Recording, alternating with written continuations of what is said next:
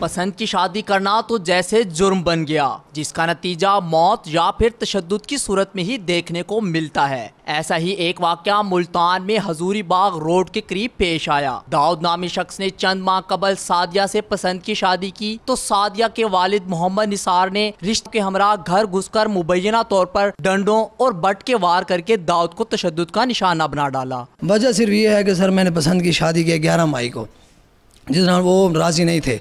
उस वजह से कल ये उन्होंने ये वकुआ कर दिया। कहते रहते थे हम गोली से मार देंगे मार देंगे। अभी भी उनका यही है कि अब मारा तो सिर्फ़ थोड़ा सा है लेकिन मारना गोली से है। मुझे धमकियाँ देते हैं कि तुझे हम बेवा कर देंगे इन इन्हें गोली मार देंगे। मुझे ये है कि हमें जानी और माली तहफ़ चाहिए। अट्ठाईस साल नौजवान को तशवीशनाक हालत में निश्तर अस्पताल मुंतकिल कर दिया गया। जोड़े ने इस बात का खदशा ज़ाहिर किया है कि इनकी ज़िंदगी को खतरा है। आला हुकाम मुलजमान को गिरफ़्तार करके हमें तहफ़ फराहम करें। कैमरा मैन मेहताब हैदर के साथ Mirza Khaqan Hussain ninety two news Multan